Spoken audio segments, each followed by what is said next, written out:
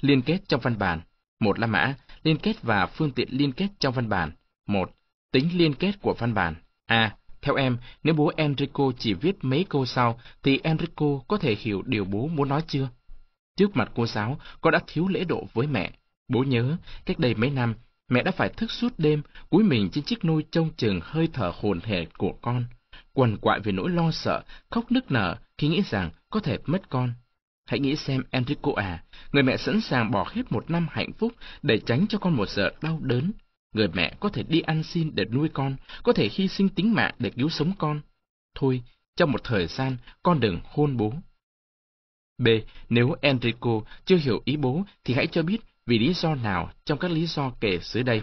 Vì có câu văn viết chưa đúng ngữ pháp, vì có câu văn nội dung chưa thật rõ ràng, vì giữa các câu còn chưa có sự liên kết, liên, liền, kết, nối, buộc liên kết, nối liền nhau, gắn bó với nhau. C. Từ đó, hãy trả lời câu hỏi, muốn cho đoạn văn có thể hiểu được thì nó phải có tính chất gì? 2. Phương tiện liên kết trong văn bản A. Đọc kỹ đoạn văn trên và cho biết do thiếu ý gì mà nó trở nên khó hiểu. Hãy sửa lại đoạn văn để Enrico hiểu được ý của bố. B. Đọc các câu văn sau và chỉ ra sự thiếu liên kết của chúng, hãy sửa lại để thành một đoạn văn có nghĩa. Một ngày kia, còn xa lắm, ngày đó con sẽ biết thế nào là không ngủ được. Giấc ngủ đến với con dễ dàng như uống một ly sữa, ăn một cái kẹo. Gương mặt thanh thoát của đứa trẻ tựa nghiêng trên gối mềm, đôi môi hé mở và thỉnh thoảng chúng lại như đang mút kẹo. C. Từ hai ví dụ trên, em hãy cho biết một văn bản có tính liên kết trước hết phải có điều kiện gì. Cùng với điều kiện ấy, các câu trong văn bản phải sử dụng các phương tiện gì. Ghi nhớ, liên kết là một trong những tính chất quan trọng nhất của văn bản, làm cho văn bản trở nên có nghĩa, dễ hiểu. Để văn bản có tính liên kết, người viết, người nói phải làm cho nội dung của các câu, các đoạn thống nhất và gắn bó chặt chẽ với nhau, đồng thời phải biết kết nối các câu, các đoạn đó bằng những phương tiện ngôn ngữ, từ câu thích hợp. Hai là mã luyện tập. 1. Sắp xếp những câu văn dưới đây theo một thứ tự hợp lý để tạo thành một đoạn văn có tính liên kết chặt chẽ. một Một quan chức của thành phố đã kết thúc buổi lễ phát thưởng như sau. hai Và ông đưa tay chỉ về phía các thầy giáo, cô giáo ngồi trên các hàng lang. ba Các thầy các cô đều đứng dậy vẫy mũ, vẫy khăn đáp lại, tất cả đều xúc động về sự biểu lộ lòng mến yêu ấy của học sinh. 4. Ra khỏi đây, các con ạ, các con không được quên gửi lời chào và lòng biết ơn đến những người đã vì các con mà không quản bao mệt nhọc, những người đã hiến cả trí thông minh và lòng dũng cảm cho các con, những người sống và chết vì các con, và họ đây này.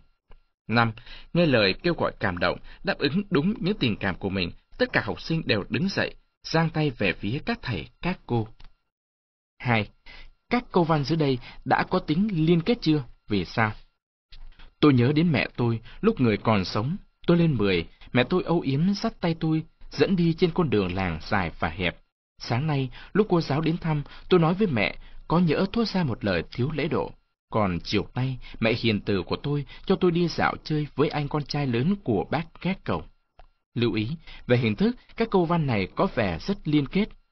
3. Điền những từ ngữ thích hợp vào chỗ trống trong đoạn văn dưới đây để các câu liên kết chặt chẽ với nhau.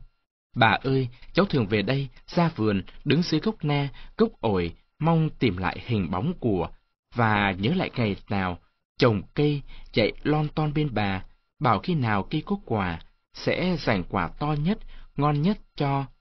Nhưng cháu lại bảo quả to nhất, ngon nhất phải để phần bà.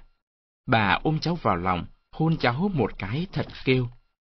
Theo Nguyễn Thu Thủy Tiên, những bức thư đoạt giải UPU. 4. Đêm nay mẹ không ngủ được, ngày mai là ngày khai trường lớp 1 của con. Có người nhận xét sự liên kết giữa hai câu trên hình như không chặt chẽ. Vậy mà chúng vẫn được đặt cạnh nhau trong văn bản, cổng trường mở ra, em hãy giải thích tại sao. Gợi ý, hãy đọc những câu văn tiếp đó. 5. Chắc em biết câu chuyện cổ tích kể về một anh trai cày đã đẵn đủ trăm đốt tre nhưng không nhờ đến phép màu của bột thì không sao có được cây tre trăm đốt. Câu chuyện ấy có giúp em hiểu được điều gì cụ thể hơn về vai trò của liên kết trong văn bản không? Đọc thêm, nhà văn Nguyễn Công Hoan kể lại, hồi đầu thế kỷ 20 đã có người viết một lối văn ngắn đến cọc lốc, ví dụ như Chú thích UPU, Liên minh Biêu chính Quốc tế. anh đi đâu ngày mai? Bạn tôi hỏi. Chơi. Heraclit, uống nước hai lần trong một dòng sông. Sẽ có, cho mà xem.